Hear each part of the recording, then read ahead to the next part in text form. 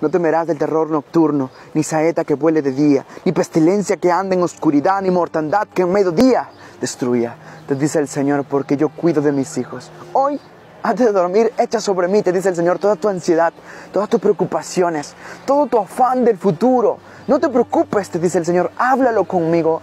Entrégame todo lo que te estaba cargando, todo peso, todo pecado, que yo estoy listo para librarte, para perdonarte y olvidarme de tu pasado. Si yo no me acuerdo, ¿por qué tú te tienes que acordarte? Dice el Señor, te amo como ni siquiera te imaginas. Señales de que estás bajo ataque de brujería o maldición. Atención. Número uno, te puedes sentir confundido o desorientado. Sientes que no te puedes conectar con la visión espiritual y tu motivación se ha ido o no existe. Número dos, te sientes emocionalmente débil. Cuando eres un blanco de maldiciones o de brujería, te sientes débil emocionalmente y agotado. Los espíritus de opresión empiezan a operar y hasta puedes sentir dolores de cabezas intensos. Número 3. Aumentarán tus temores excesivamente. Y número 4. Te sentirás desenfocado de tu propósito y llamado en el Señor.